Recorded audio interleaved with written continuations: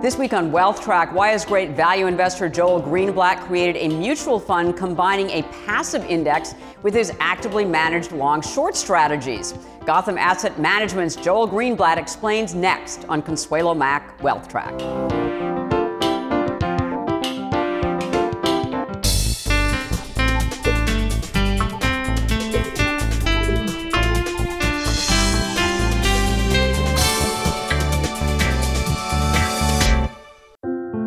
New York Life, along with Mainstay's family of mutual funds, offers investment and retirement solutions so you can help your clients keep good going.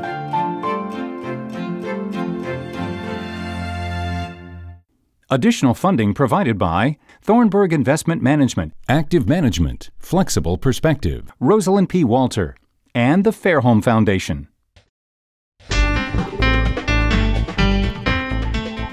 Hello and welcome to this edition of Wealth Track. I'm Consuelo Mack. Ever since we launched Wealth Track in 2005, we have covered the agonizing question of why investors underperform the very funds they invest in.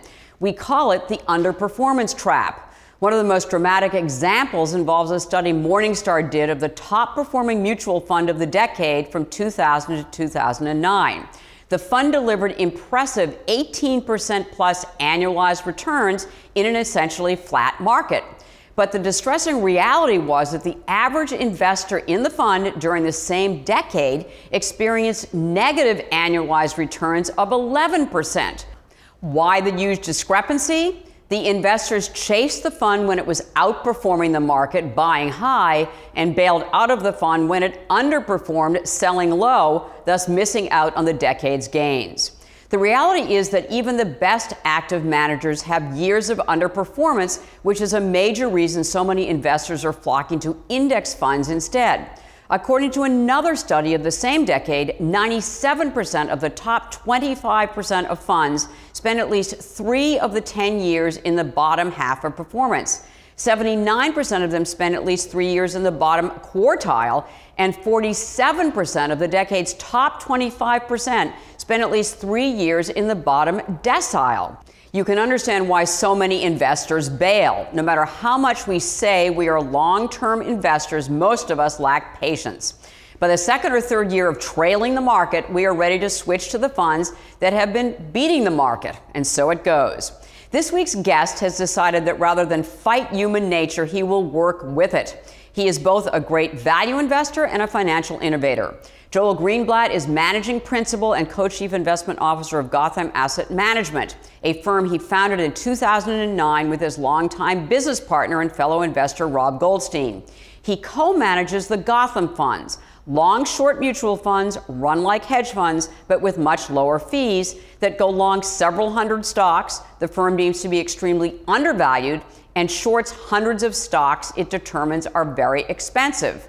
His predecessor firm, Gotham Capital, ran a very concentrated hedge fund with only six to eight holdings. After a 10 year run delivering 34% annualized returns, he and Goldstein decided to close it to outside investors. Greenblatt realized early on that most investors cannot emotionally tolerate years of market underperformance. In early 2015, his firm launched a new fund, the Gotham Index Plus Fund, combining index investing with their actively managed long short strategies. I asked him why. Well, there's a lot of ways to make money, um, but for people who are interested in active investors who are trying to beat the market, one of the truisms is, is that to beat the market, you have to do something different than the market. And that means your uh, fund will zig and zag differently than the market. Often that comes with periods of outperformance and periods of underperformance. Um, one of the problems for uh, people who allocate to active investors is they don't like the periods of underperformance. Most investors aren't very patient. They uh, often don't uh, understand the reasons for that underperformance. Uh, and therefore, they're not very uh, sticky. They're not right. very patient to collect the periods of outperformance. So it's very tough. It's a challenge for both retail investors. It's a challenge for active investors. It's also a challenge for institutional investors uh, because they have agency problems and behavioral problems, and they're judged as well over shorter time periods. So uh, we were trying to come up with a solution that would take advantage of the ability, uh, the ability that we believe we have uh, to actively choose uh, stocks that will do well on the long side and stocks that will do less well than the market on the short side. Uh, but we also need patience. So the question is, how do you bridge that gap? How do you bridge the gap between the fact that you need patience, uh, and there are often times when you're active by necessity that you're going to have periods of underperformance. So right. how can you minimize that problem? And I and I uh, started a fund, and I wrote an essay about it, and I said that uh, I started it this way. I said. The strategy that's best for you is not only one that makes sense, but one you can stick with. Mm-hmm. And if there's too long periods of underperformance, which is a necessity uh, usually for value investors, which we are, uh, uh, I'm not really helping the people I'm trying to help. So how could we bridge that gap? So we, we uh, took it upon ourselves to look at the problem and, and, try to figure out a solution, and we came up with Gotham Index Plus. So, so how does Gotham Index Plus work? How does it fix the problem? Number one, that you've got to understand the strategy and you've got to have the patience to stick with it. Right. So uh, there's a few things we did uh, to create it. Number one, we said that most people use the S&P 500 as a benchmark. Right. Uh, at, for performance. So they're really comparing how they did. It doesn't matter if they're doing small cap stocks or all cap stocks or S&P 500 stocks. They use the S&P 500 uh, as, as a benchmark. So when they're measuring underperformance, that's generally what we're using. So we started there. And what we do with our fund is you give us a dollar, we actually go out and recreate the stocks in the S&P 500 and the weights in the S&P 500. Uh, so we take your dollar and we buy a dollar of the S&P 500 effectively. Uh, we don't charge for this portion. Mm-hmm. It's not so hard to go do that. Uh, but then we have an active overlay on top of uh, just that investment in the S&P 500 in which we buy 90 cents more of our favorite S&P stocks and we short 90 cents of our least favorite. So we have a 90 by 90 long short overlay on top of the index where we're hoping that our long picks beat our short picks and that's additive over time to the performance of the S&P 500. But because the base is the S&P 500, you minimize tracking error. Uh, so that's good. And the 90-90 portion, hopefully in most periods, will be additive. And when we've looked at testing this going backwards, it was very encouraging. Right. So what's interesting is that, that in the past, when you and I have talked, you, you basically said that you thought it was not a smart idea to invest in a, a, you know a, market cap weighted index fund, for instance, because you were constantly paying up. It actually, I think you figured out it cost you two percent a year uh, in performance too, because you're constantly paying up for the most expensive stocks. But it's kind of did you kind of throw in the towel and say, look, if everybody's going to use the S&P 500 as the benchmark, then then we've kind of got to have that as a core to this to the Gotham Index Plus. The index has got to be the S&P 500. So, you know, we'll we'll take the cap weighted market with all of its flaws. Right. Well, so uh, uh, there was an article written uh, in the Wall Street Journal. Uh, Jonathan Clements wrote it. Yes, who's been a uh, guest on Wealth Track many times. Right. So uh, he he really hit it on the head. He said index investors end up doing better than active investors, not because they're smarter. it's basically because they make less mistakes. When you have an index fund, people make mistakes. When the market goes up, they pile into it. When the market goes down, they pile out. Those are mistakes. But for an active fund, they pile in when the fund does well, they pile in when it outperforms. When the market goes down, they pile out. When the fund underperforms, they pile out. So they make twice as many mistakes. They have twice as many mistakes to make because yep. of the under and outperformance. So an index fund, investors make half as many mistakes. So obviously, if you're trying to beat the market, you have to have some tracking error.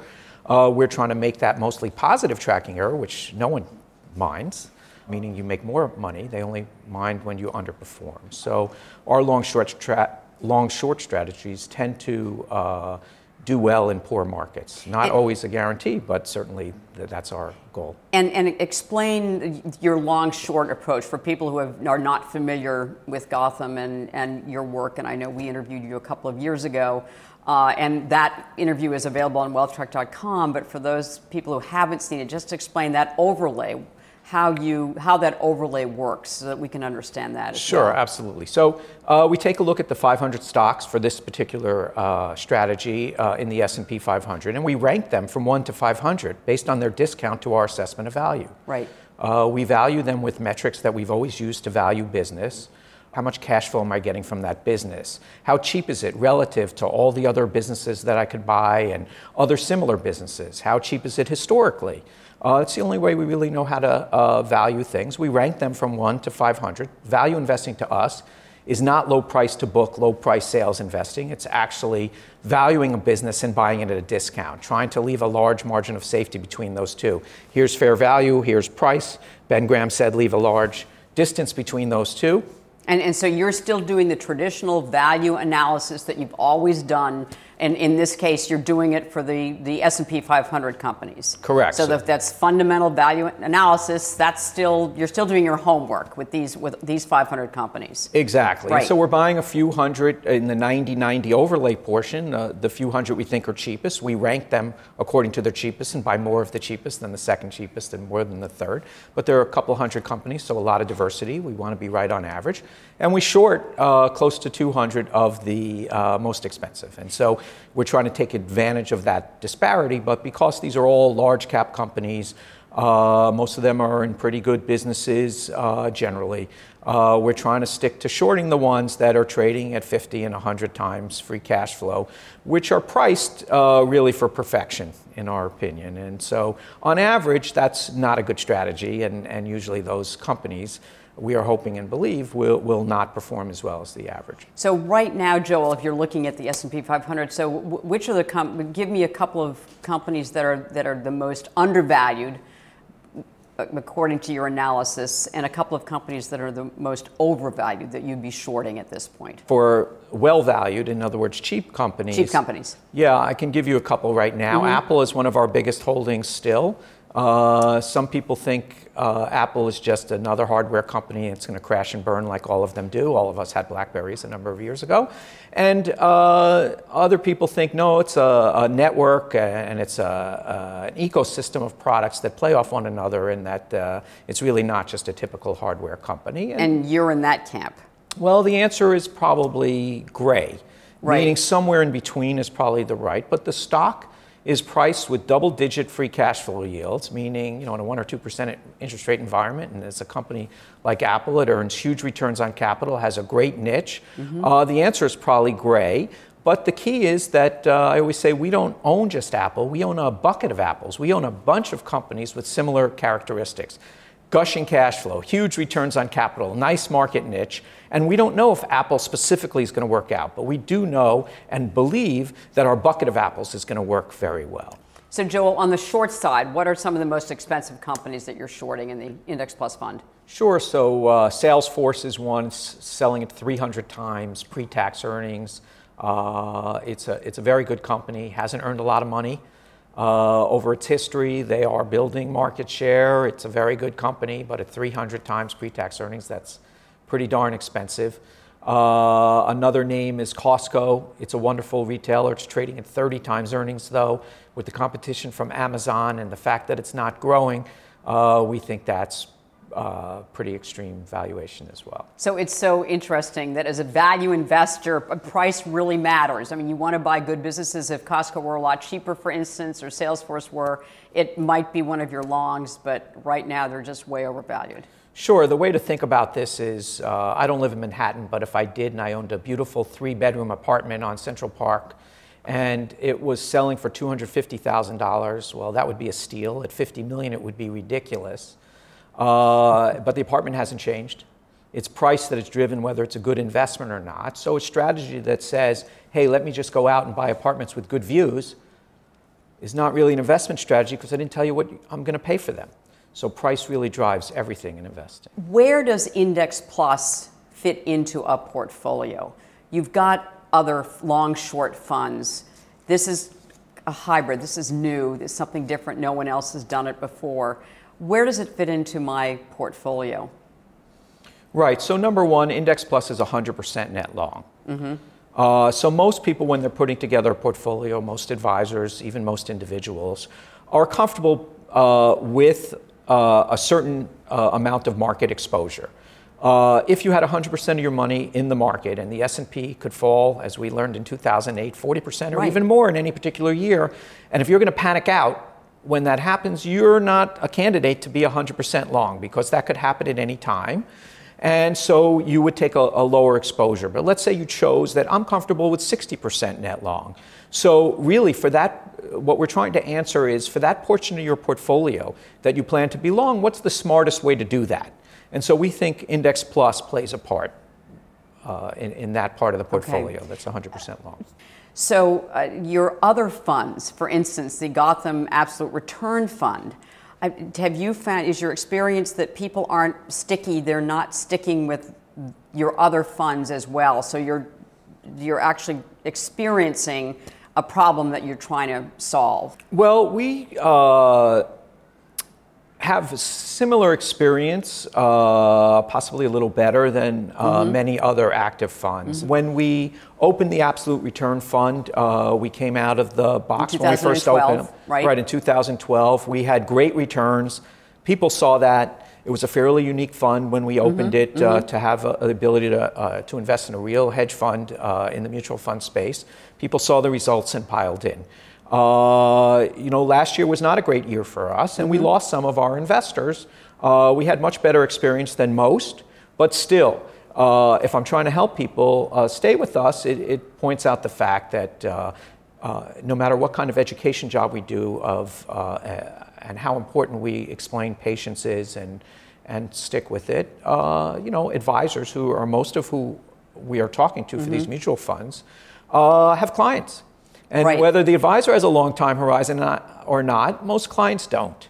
And so they have to deal with that as well. And uh, it's just part of, of the issue. So uh, in Index Plus, really what we were trying to do is come up with something that would sort of mark the middle ground. Uh, there's been a big move to uh, index or passive investing, and it's cheap, and uh, you get the average, and uh, I support it uh, very much, but there are a portion of investors uh, who still want to beat the market. And there's a portion, and it's a relatively small portion of active investors who can actually do, do that. Of mm-hmm. course, we believe we're one of those. I've been doing this for 35 years, and we think we're good at what we do. Right. So for those who want to be active but still can't take the tracking error problems of being fully active, we're sort of trying to uh, bridge that gap by staying in large cap stocks, by making the base the S&P 500 so you still participate with that, you still get the tax benefits of doing that but to add an active overlay so you don't have to give up on trying to outperform the market.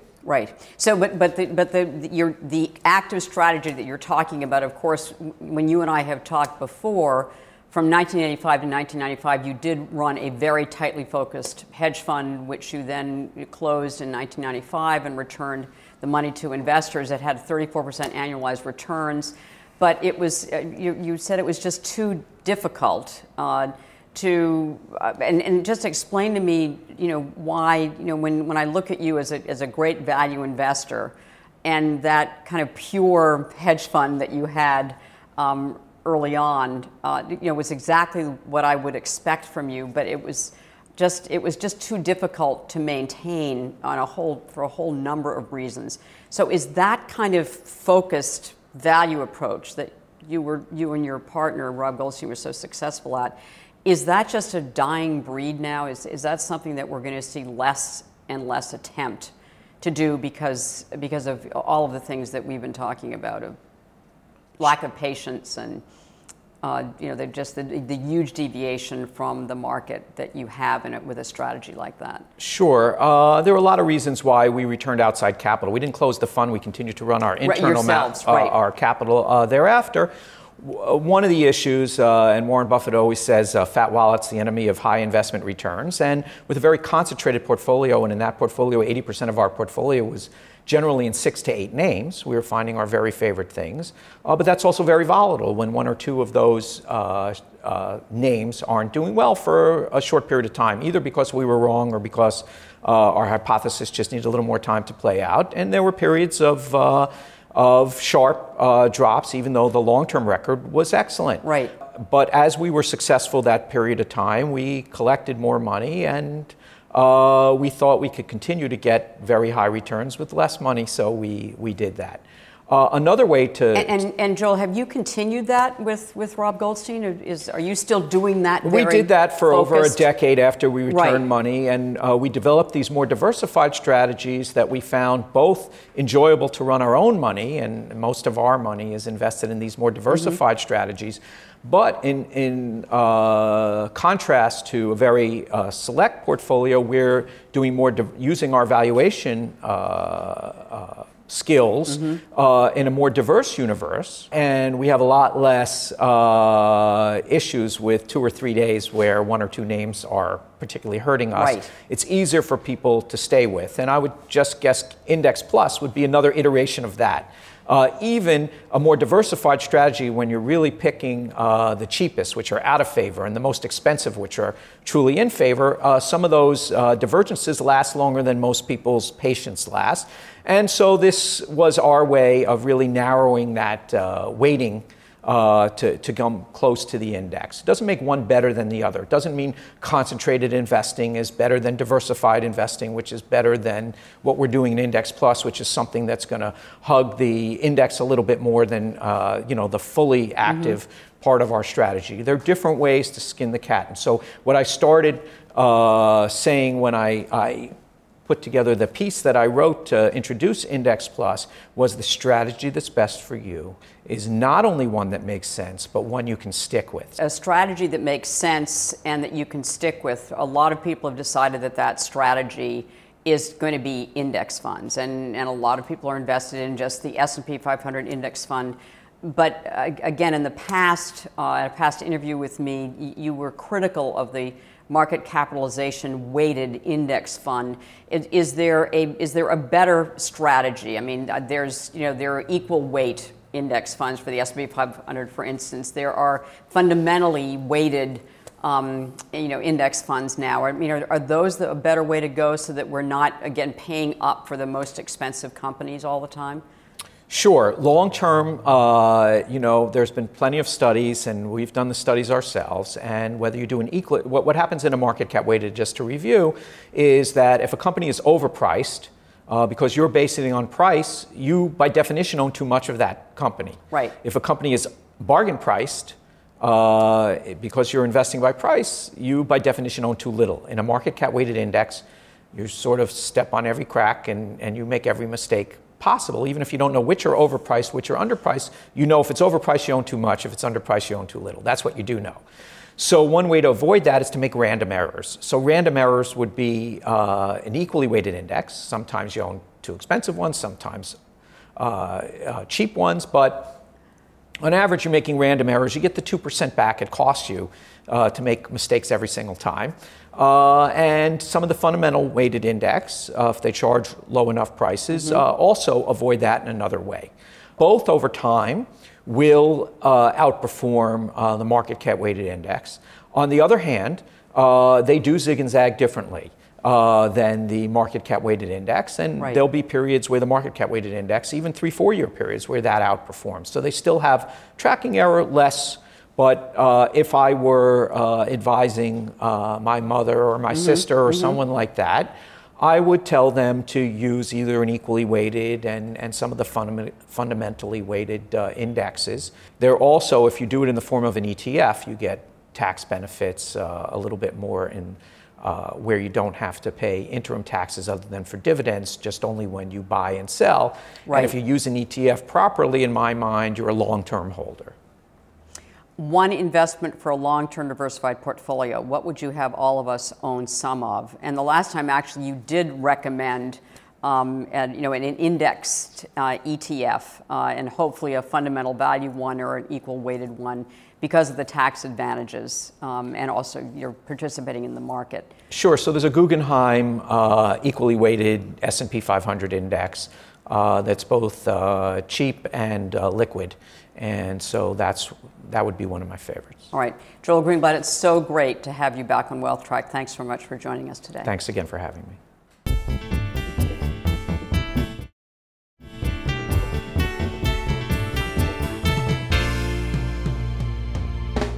At the close of every wealth track, we try to give you one suggestion to help you build and protect your wealth over the long term.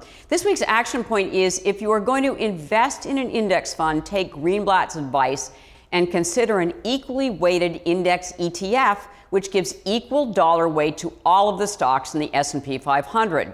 As Morningstar explains, equal weighting's primary advantage compared with market cap weighting comes from its massive underweighting of potentially expensive megacap stocks and overweighting of smaller cap stocks.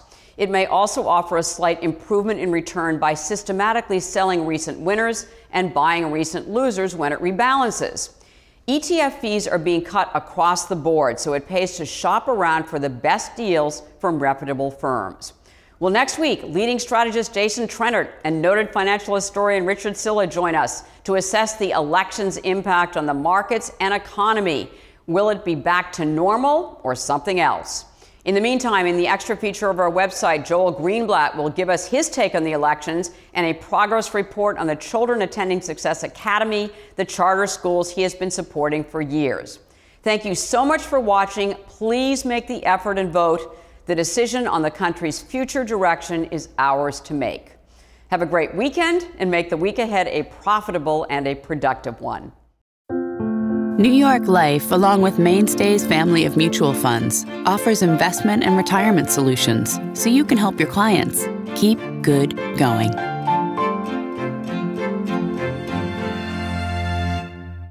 Additional funding provided by Thornburg Investment Management, Active Management, Flexible Perspective, Rosalind P. Walter, and the Fairholme Foundation.